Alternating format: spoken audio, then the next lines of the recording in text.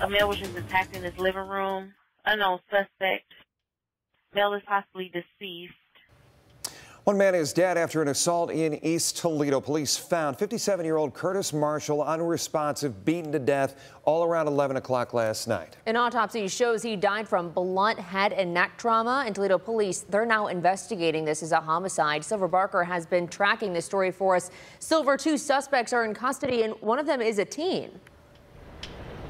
That's right. 21 year old Ronnie Hannibal was arrested, including with a 15 year old. They were both arrested after the fatal beating of Marshall, a resident we spoke with and a neighbor as well we that we spoke with.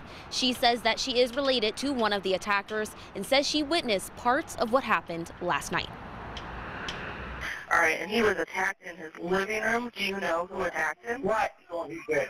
What do you mean he's dead? Okay. Oh my God. A call to Toledo police around 11 Tuesday night. Okay, ma'am. I've got help on the way to you guys. But it was too late. By the time police arrived, they found 57 year old Curtis Marshall on the floor inside his residence, struggling after being brutally beaten. Police say he was taken to a nearby hospital and was pronounced dead.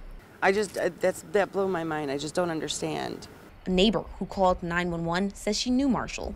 She says he had a wife and three kids. The three kids, that's father was attacked last night when they were all there. All of them, the wife, the three kids, all of them.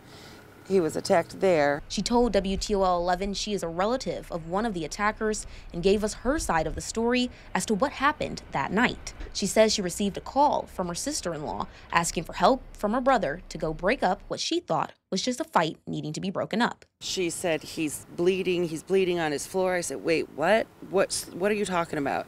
She said the boys attacked Curtis. He's bleeding on his own floor and I screamed for my brother. I told him to go and check. And then he came back in. Literally, my brother was completely, my brother's a big Irishman, okay? He came back in completely panicked, completely white. He's dead. They killed him. He's dead. Now, she says she doesn't know what's next for this neighborhood after an incident like this. If we got people moving out left and right, and now someone was murdered in their own home. Like, what does that say? In a statement sent to WTOL 11 from Toledo City Council person Theresa Gadus, she says, quote, We recognize this is a tragic event, but the people of East Toledo are hardworking and resilient, and we support each other when something like this happens. My heart goes out to the family and friends of Mr. Marshall. End quote. Silver Barker, WTOL 11.